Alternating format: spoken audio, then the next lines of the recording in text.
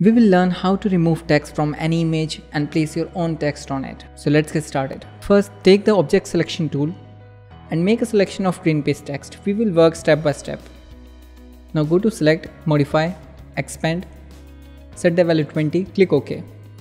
Now right click, fill, make sure the content should be content aware, hit OK. It will automatically remove all the text from the image except for some few adjustments we need to make later. Now right click and deselect it.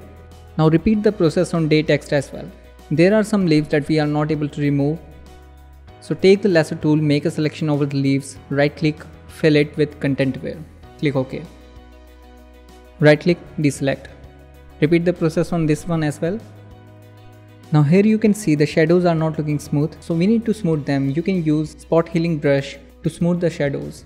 Let's place our text over the image. Now there is something missing. The shadows are not on the text. We need to add shadows on the text.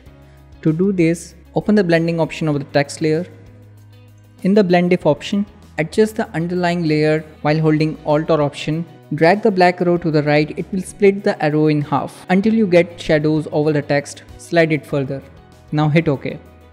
To give it a more realistic look, set the text layer opacity to 90%.